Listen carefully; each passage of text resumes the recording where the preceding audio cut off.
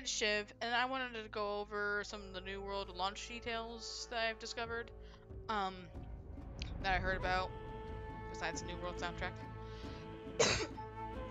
so, next week, um, September 28th, they're going to be launching.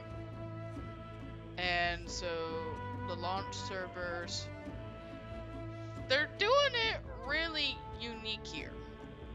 So, what I've noticed they're doing is it looks like for EU, it's going to be at 8 a.m.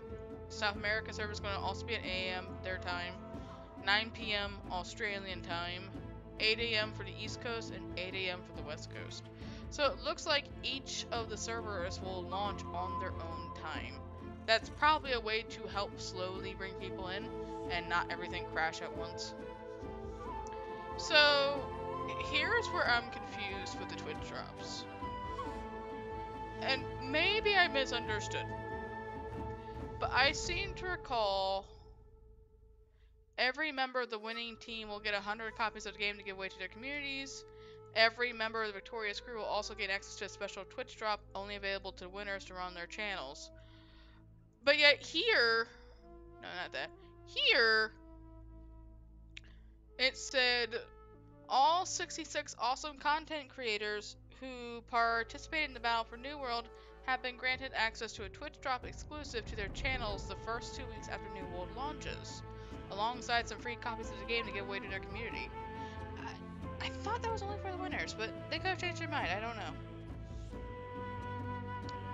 So apparently also with Prime Gaming, there's going to be something exclusive coming up at the launch, which is pirate character skin, stance emote, and then the premium currency.